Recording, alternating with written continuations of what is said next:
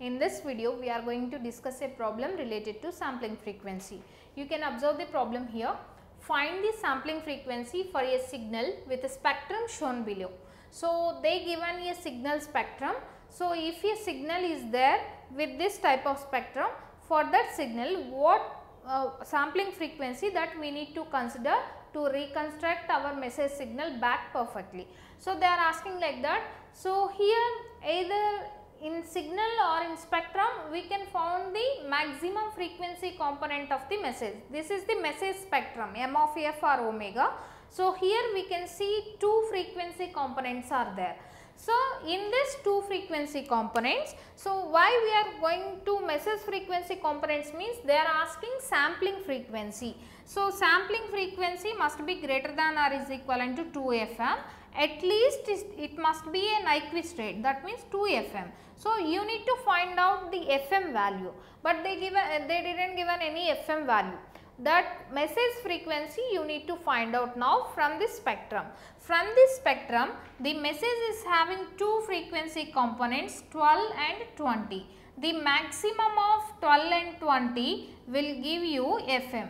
So, message frequency is nothing but maximum frequency component that is associated in message signal. So, in this message signal or spectrum you are having two frequency components which is uh, 12 Hz and 20 Hz other. So, in this two the maximum frequency component is 20 Hz which can be considered as frequency of your message.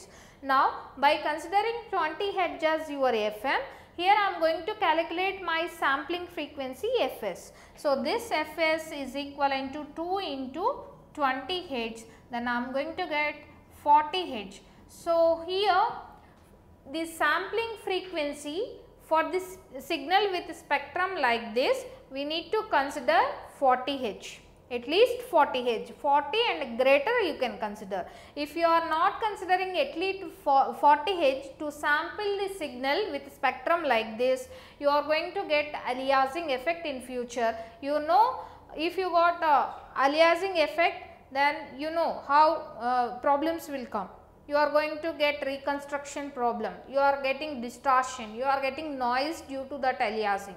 So, that is why, so to overcome that effects, you need to consider at least 40 Hz for the signal with a spectrum like this. From this spectrum, I extracted my message frequency by taking the reference of this message frequency, I found my Fs that means Fs is equivalent to 40 Hz. So, this will be your right option for this problems like this way you need to solve the problems related to sampling frequency.